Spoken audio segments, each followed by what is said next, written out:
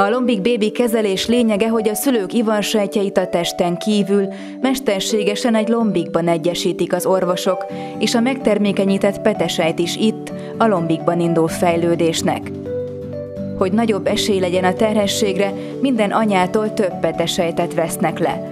A lombik bébi kezelés első lépése, hogy hormonokat kapnak az anyukák, így a peteérés folyamata begyorsul, és egyszerre több petesejt érik meg. Tovább kell kapni az injekciókat. Az úgynevezett tüszőérlelő hormont otthon maguknak adják be injekció formájában, napjában egyszer. A hormonkészítmény hatását először egy hét elteltével ultrahangvizsgálattal ellenőrzi az orvos.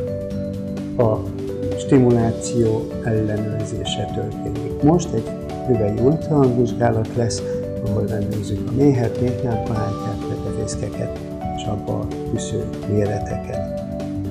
Ez a tüsző most 12 mm-es, Fekete foltok jelzik az ultrahangképen az érésnek indult tüszőket, ezekben fejlődik a petesejt. Azt vizsgálják, mennyi tüsző indult fejlődésnek, és a méretüket is nézik.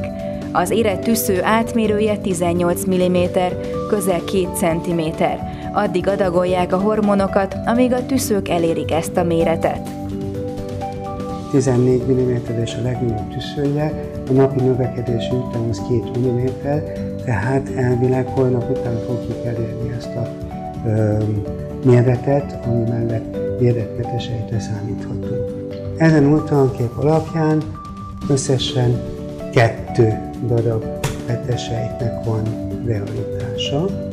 A petefészkek stimulálhatósága egyénenként változó. Itt már egy elhúzódó stimuláció történt, ő egy nehezen stimulálható beteg. Az itt megérett kettő petesejt kevésnek számít.